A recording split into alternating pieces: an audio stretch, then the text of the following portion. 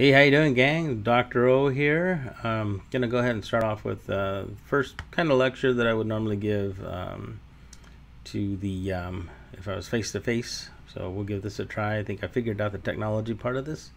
So let's go ahead and go for it. So I'm just gonna go through a couple slides and then you know talk along with and then have you kind of write something on the bottom and tell me what you think. So, all right. So we think about what the question of what psychology is and typically people will answer the question that's what I asked you when we first started off with. What do you think psychology is? And a study of you know humans, their behavior, um, and things like that. What we have as a definition that I like talking about is really it's the psyche being the mind, ology being the study of. So it's according to the textbook, it would be the scientific study of behavior and the mental processes. So if you take a look at psychology versus sociology, um, you know, and biology, they're all studies of something. So biology would be the study of life, bio, the, um, the body and so forth, and living things. Sociology, on the ha- other hand, which is the closest to psychology, and so sociology is basically the study of groups and how groups affect individuals. Psychology, on the other hand, is looking at the individual. So you're looking at the person first, and then you have how they think and they react. You have something that's in the middle, which is uh, social psychology. Social psychology mixes in both, both the sociology and the individual psychology, to see how individuals affect uh, the society or social groups or social group affects the individual. So this is important to think about, especially with what's going on today in the world. Um, and I'm going to talk, hopefully, a little bit more about that too as we go through the semester because it's a crazy world out there right now. You, can't deny it, especially with COVID and the year 2000 and all this stuff's going on. There's a whole mess of things happening that hopefully I can tie in you know, so so you can start stepping back from what you're looking at and start seeing it objectively as opposed to emotionally. And uh, that's what psychology tries to do as a science is really kind of looking at it as okay what are the things that are measurable? And i'll talk about uh, research in the next video.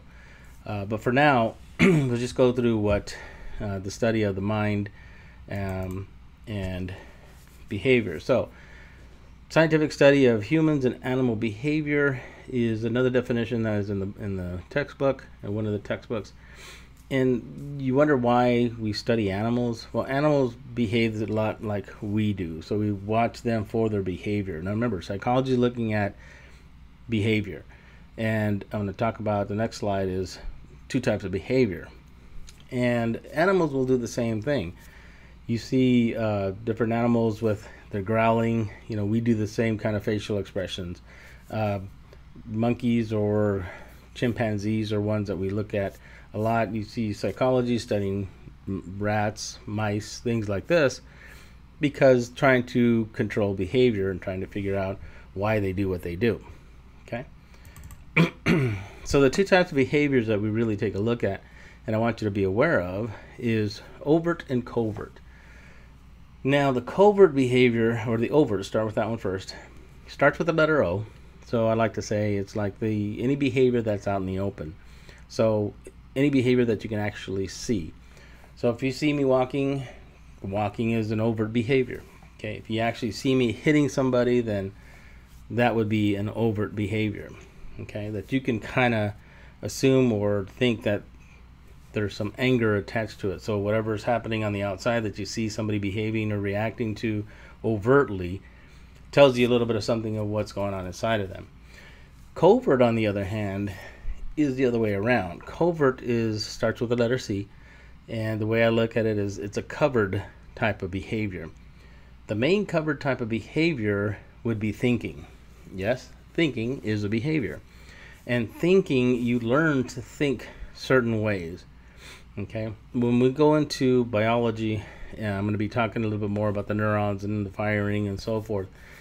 But ultimately, when we're looking at covert behavior and, and the, the thought process and how you think of things, those are learned behaviors, which means that they can be unlearned. Okay. So when you're looking actually, let's say for racism, I mean, that's a big topic right now in the world that's popped up in the last year or two. So people think, oh, racism. Well, that's you know part of your genetic makeup if you want to go with um, critical race theory. No, it's not. it actually isn't. It's a learned behavior. You learn to judge things. You learn to uh, discriminate. You learn to be racist. That's why there are a lot of people who were racist in the beginning and then later on realize, oh, this isn't a good way of thinking here. This is not right. So, you know, any kind of behavior, any kind of thought process, if you're looking at somebody and thinking about them in a certain way, that's a learned behavior. You're learned, you've learned how to think that way about this group.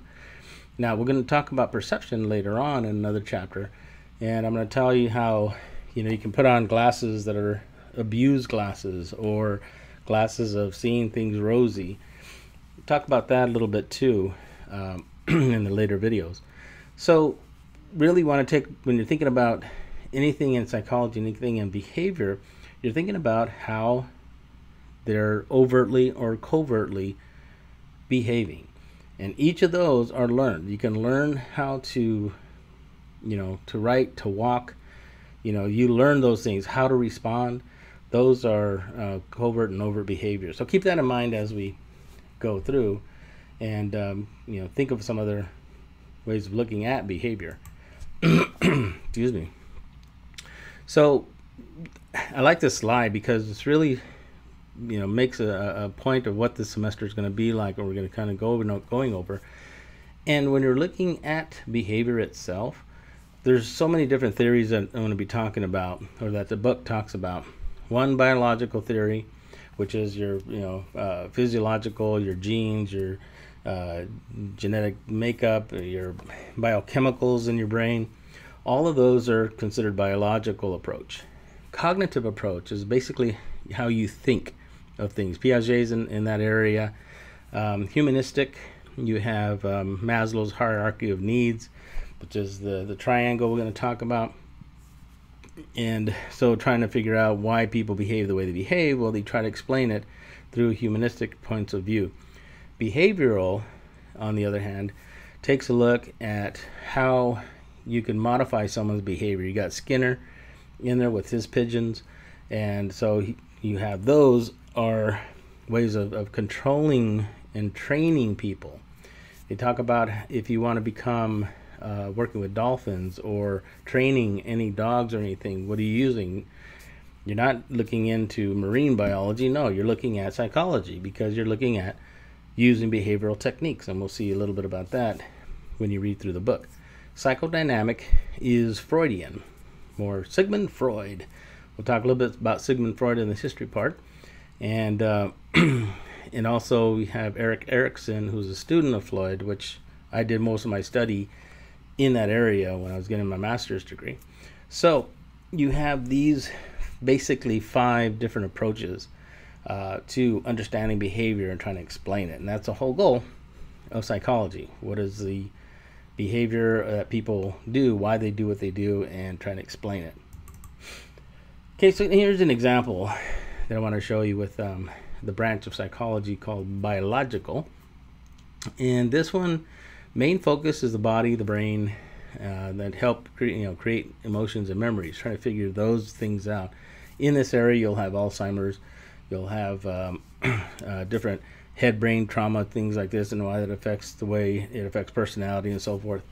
But some of the questions that are asked, uh, main questions, is how do how do evolution and heredity influence behavior?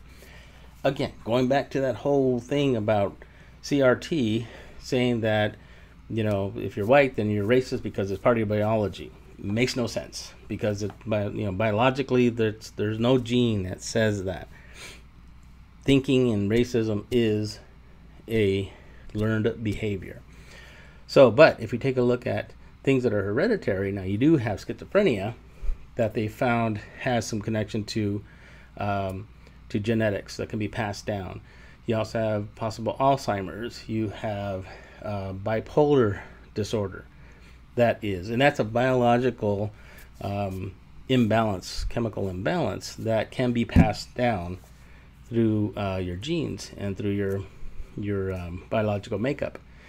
Okay, so those are the things I want you to think about as you're reading the chapters, too, as well. Uh, blood chemistries linked to moods and motives are other things that the biolog- biologist or the biopsychologist would take a look at. Now, there are some people who will stick to one area and believe that that is the main thing. I had a friend of mine who's a, um, in the doctoral program with me, and she believed that a lot of the behavior could be explained through biology. Okay, so if we could figure out the biology, if we can give them a medication that would affect the hallucinations or that can affect their their behavior, then that's how she would look at it.